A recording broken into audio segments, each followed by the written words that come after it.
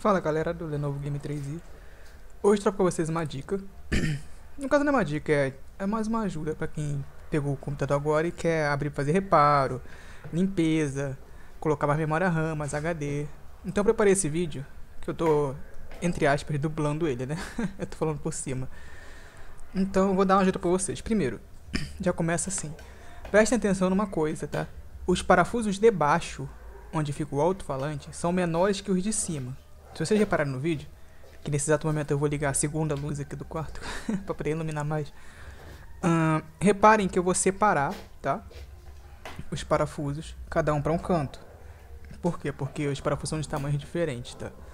Então, prestem muita atenção nisso. Tem muita gente que não sabe, tá? Os seis parafusos de cima são do mesmo tamanho, você pode colocar junto, mas os três de baixo são menores. Ah, mas qual o perigo se eu colocar o maior no menor ou vice-versa? Cara, perigo não tem, mas o maior no menor vai dar problema do tipo assim, na hora de, na hora de você encaixar, você vai ter que forçar. E o que acontece? Já vi muitos casos de notebook de gente furando a, a um pedacinho da placa-mãe. Como a gente diz assim no, no mal da palavra, né? Me perdoe se tiver outra palavra, mas tipo assim, arrombar ali aquela parte, sabe? Porque onde você bota o parafuso, se você botar, ele vai espanar muito e vai abrir demais o parafuso. E isso é ruim. Então, fiquem esperto quanto a isso, porque é meio ruim, cara. Eu não vi até hoje, tá? Eu já tive vários notebooks, um, alguns já aconteceram isso. Quanto tem jeito, né, gente? Parafuso é um saco. Vocês podem ver aí que, que tem uma hora que eu tomo um pau dos parafusos ali, porque não quer sair de jeito nenhum. Então, é um saco. É um saco. Mas, eu não, nunca tive problema com isso, tá? Ó, vocês podem reparar ali que eu coloquei os parafusos grandes na direita e agora eu vou botar os parafusos pequenos na esquerda, tá? Poder separar, como eu disse, a maior dica para vocês, separem, tá? Por que eu resolvi gravar esse vídeo? Dois motivos. Um, um amigo meu comprou esse notebook. E assim como eu sempre aconselho a todos, o Lenovo Game 3i é o notebook game mais barato do Brasil no momento. No momento até, até agora é no momento. Então o que acontece? Muita gente está comprando, mas só que não é assim. O barato sai caro, sabe? Por que o barato sai caro? Porque ele não vem 100%, cara. Comprou o Lenovo 3i? Compra memória RAM. Ah, mas 8 GB não tá bom. Não, compra memória RAM. Não importa quanto você vai pôr. Pode pôr até 4 GB, mas compre memória RAM. Porque o Dual Channel libera mais potência do seu notebook, cara. Ele vem single channel, então compre memória RAM, não fixe memória RAM. É a dica que eu dou pra vocês. Então você comprou, já compre memória RAM. Mas o que? Segunda coisa, que aí eu já não aconselho no momento, mas mais pra frente, compra uma ótima pasta térmica, uma APTM, algo do tipo, entendeu? Uma Creonaut, porque esse computador esquenta, e uma boa pasta térmica ajuda dissipar. Agora, como eu tô mostrando pra vocês como abrir ele. Você, depois de tirar o parafuso, você puxa por ali, ó, onde eu tô mostrando pra vocês. Por quê? Porque tem tipo uma alavanquinha ali, é mais fácil, tá? Mais fácil. Praticamente eu só abri e vou aproveitar para dar limpadinha no, meu, no, no cooler do notebook, né? No meu cooler ia pegar mal, né? Mas aí, mostrando pra vocês, ó. Ou tentando, né? Porque a câmera não ajudou muito. Mas ali tá as duas memórias, como vocês podem ver. E o SSD. Ali eu tô mostrando pra vocês o seguinte. Ali fica o cabo da bateria.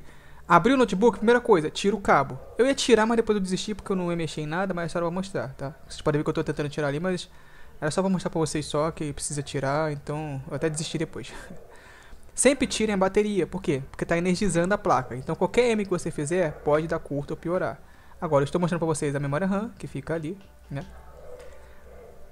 E como vocês estão podendo ver ali, o cooler é um pouquinho sujo. Ali o HD, tá? Em cima da HD ali tá a entrada do SSD, onde eu estou mostrando agora para vocês, que é o segundo slot de SSD. Você consegue botar dois, dois, HD, dois SSDs no HD? Consegue, se forem dois SSDs pequenos. Igual o que já vem no notebook, o 2248, que é aquele negocinho pequenininho que parece uma placa Wi-Fi. Se você colocar o original ali, já dá bom. Ó, eu tô mostrando pra vocês a parte de cima, que também fica sujo, tá? Vocês podem ver que fica sujo ali. Então aconselho a limpar também.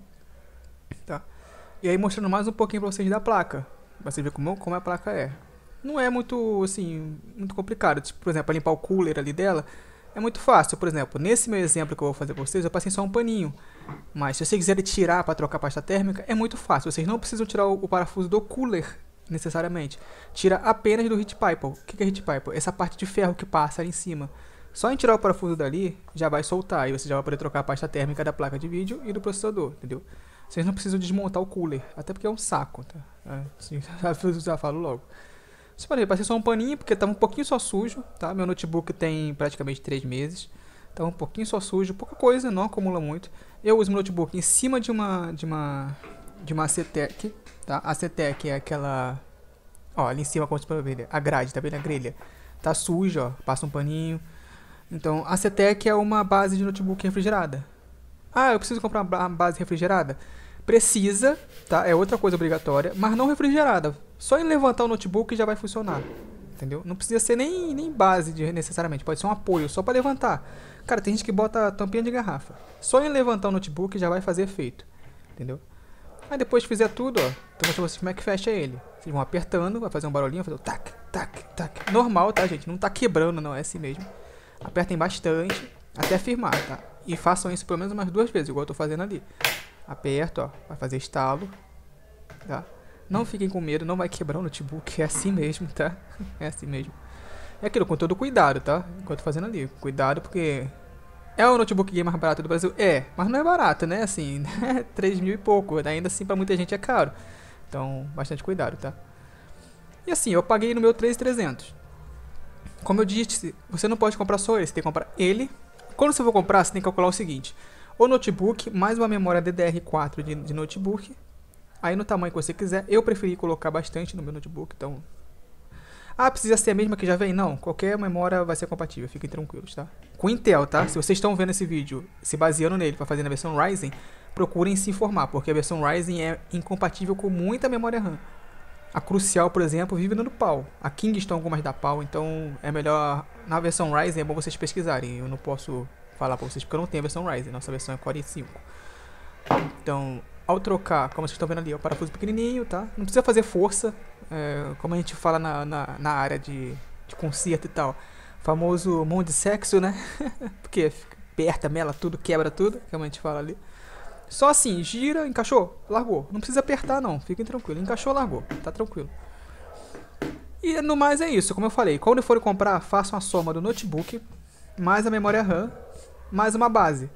Não precisa ser refrigerado e pode ser apenas um suporte. Isso daí é coisa de 20 reais, 30 reais, tá? A memória RAM, aí dependendo do tamanho que vocês vão pegar. A minha foi 200. Então aí vocês acrescentam, por exemplo, eu paguei 13,300 mais 200, 13,500, beleza? Mas o que, que é obrigatório? De início nada. Tá, de início nada. Trocar a pasta térmica algumas para algumas empresas não perde garantia. Eu não sei quanto a Lenovo, eu acho que não perde.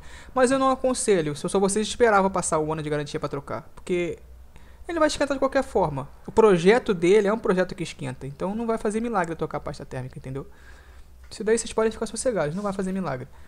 A não ser que seja metal líquido, mas ele não aceita, tá? Não, não, não façam essa burrice nele porque vai dar ruim. Não façam, por favor. Agora, uma PTM ou uma, uma Cryonaut, pode ser. A PTM principalmente. A PTM é um termopad que é usado no Lenovo Legion. E ele tira uns grauzinhos, hein? Tira uns, até chega a 10 em alguns casos. Mas aí, assim, como eu falei, não é pra agora. Tá mostrando pra vocês, ó, dá uma limpadinha em cima, porque ele mancha com qualquer coisa. O notebook que só de encostar manchou. Beleza. E agora levanto ele, aí vocês podem ver que tá tudo normalzinho. Limpei na tela ali, só que você não vai poder ver porque meu celular não gravou, né? Parabéns pra mim. Embaixo. E foi, galera, é isso. A dica é essa para limpeza. Falei um pouquinho das peças, umas dicas. E qualquer dúvida nos comentários. Falou, galera? Obrigado a todos que assistiram. Até a próxima dica.